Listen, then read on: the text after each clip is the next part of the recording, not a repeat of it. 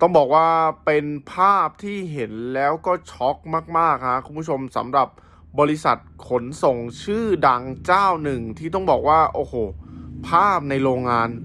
มันล้างไปหมดเลยคุณผู้ชมโดยหนุ่มคนหนึ่งเนี่ยได้มีการถ่ายคลิปในระหว่างที่เจ้าตัวเนี่ยรับบทเป็นพนักงานขนส่งด้วยตัวเอง คือมีการเจ้าตัวเนี่ยได้มีการเข้าไปเพื่อที่จะไปเอาสินค้า ปรากฏว่าภาพที่เห็นคุณผู้ชมตามคลิปเนี่ย โอ้โห โรงงานเนี่ยมันล้างออกไปหมด เพราะพนักงานเนี่ยแห่ลาออกกันหมดแล้วนะคุณผู้ชมคือไม่มีคนเหลือแม้แต่คนเดียวหมาเนี่ยยังไม่ผ่านเลยคุณผู้ชม โดยบริษัทขนส่งอันนี้เนี่ยได้มีการตั้งนะฮะที่จังหวัดอุดรธานี ปรากฏว่าพนักงานเนี่ยลาออกกันไปเนี่ย เกลี้ยงเลยฮะ โดยจากการที่เราไปตรวจสอบข้อมูลเนี่ย ปรากฏว่าหลายๆ คนเนี่ย หรือว่าจากใจพนักงานที่เป็นขนส่งเนี่ย โอ้โห อึดอั้นตันใจ เพราะต้องบอกว่า โอ้โห สวัสดิการก็ไม่มี ค่าเงินเดือนเนี่ย ก็ถูกลด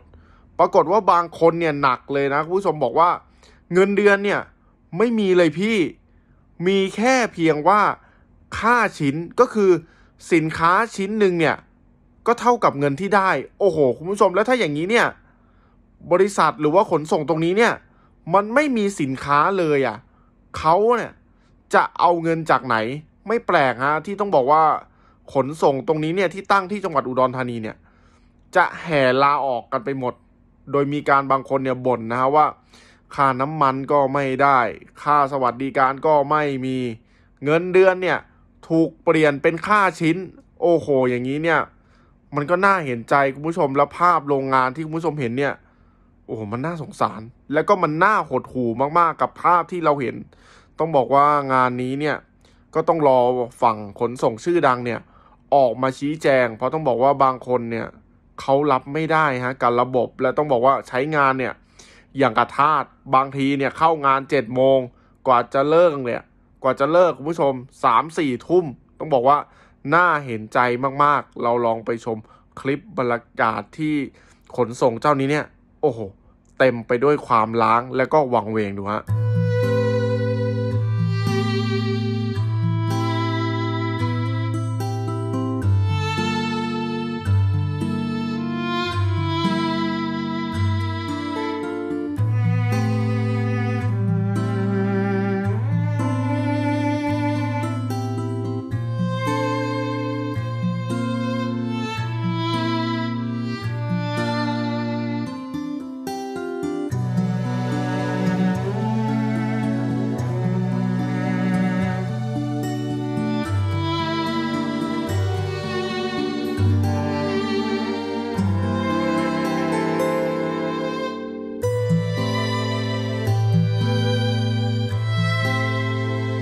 ยนิวส์สื่อออนไลน์คุณภาพ คุณผู้ชมสามารถติดตามไลฟ์สไตล์นะฮะต้องบอกว่ามีทั้งคลิปดีๆ สถานการณ์ข่าวร้อน ไม่ว่าจะเป็นสัตว์เลี้ยงน่ารักเนี่ยไทยนิวของเราเนี่ยรวบรวมไว้หมดเลยนะ คุณผู้ชมสามารถติดตามคลิปดีๆ ทั้งหมดเนี่ยได้ที่ไทยนิวส์ออนไลน์ครับ